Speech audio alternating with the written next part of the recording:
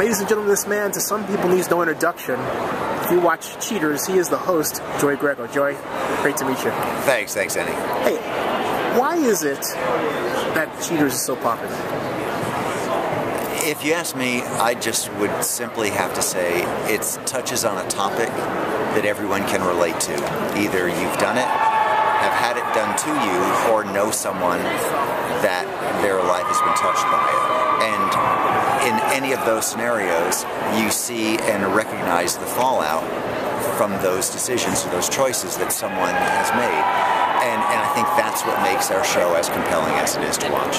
Now, what's the worst thing that's ever happened? Because some of those episodes are a little dicey there, you know, some of the situations. I think, I think among the things that I can talk about, and, and honestly, I think after that we're safe. You were saying, Zennie, I can't.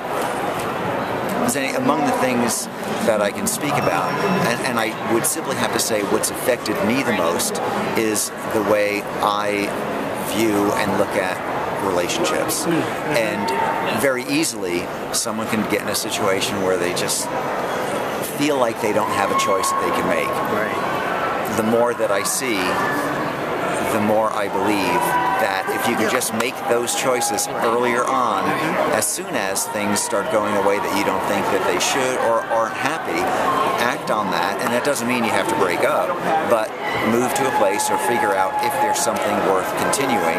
And then everyone gets to go in their own direction. It almost begs the question has this happened to you? have you been a candidate for your own show? Or I mean, uh, it almost sounds like you were leading in that direction. So someone watching is going to say, "Zennie, why didn't you ask him?" So I'm asking. I think we've all been at one point in our lives on one side of that coin or the other. I certainly have been. So enjoy we learn. Enjoy, Joey. Great job in your show. Hey, website by the way. JoeyGreco.com or you could go to cheaters.com to find out all the information you want on the show. Thank you so much. All right, take care.